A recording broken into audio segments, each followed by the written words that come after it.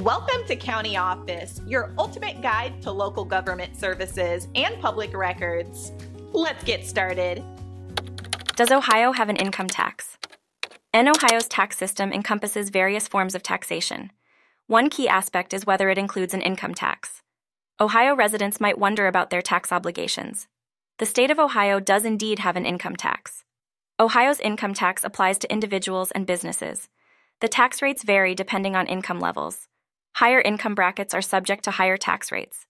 Ohio's income tax system aims to be progressive. This means those with higher incomes pay a higher percentage. The tax revenue supports state services and infrastructure. Residents must file state tax returns annually. The Ohio Department of Taxation oversees this process. Employers withhold state income tax from employee paychecks.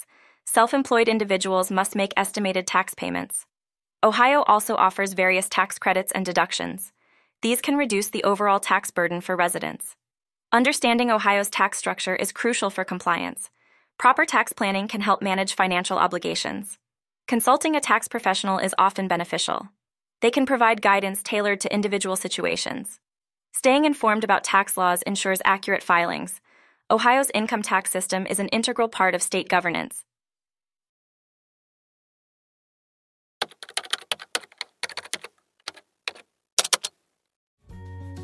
To learn more, check out these links, which you can click in the description below.